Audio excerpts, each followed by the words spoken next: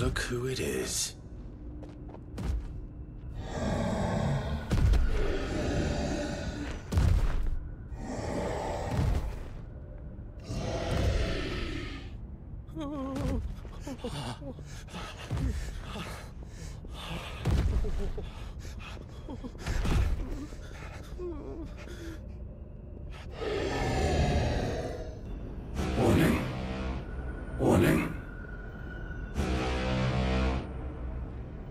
defense systems engaged.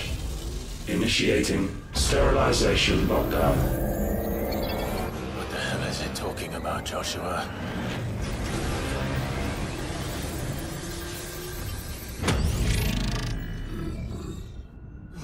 Good things, lads. Good things.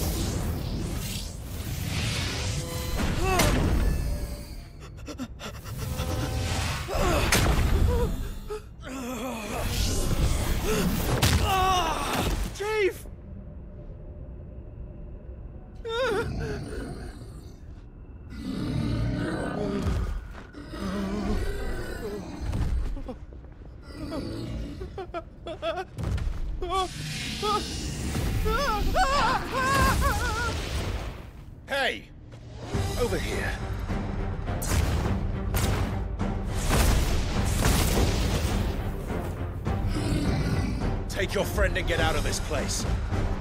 Now!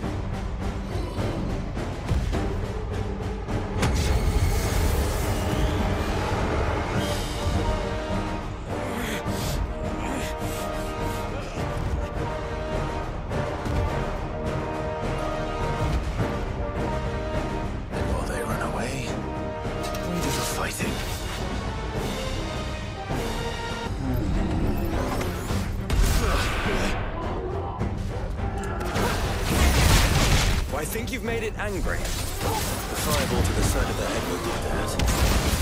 Help me, boy. Help me, boy. To me, boy.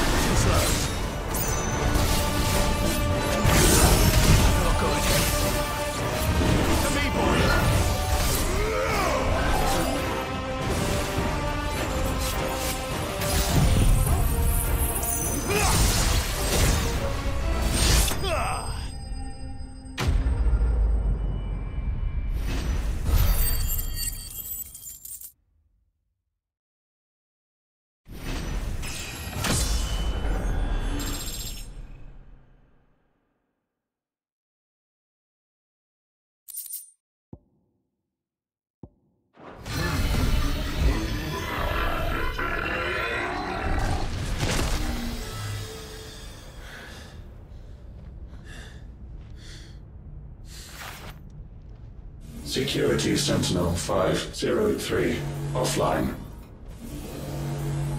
Initiating Emergency Core Relocation Protocol.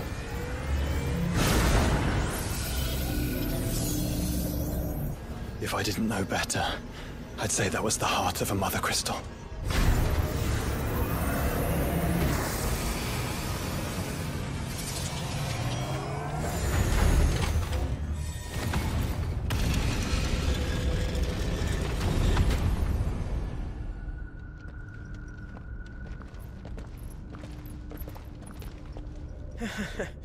I knew that fallen thing was no match for you.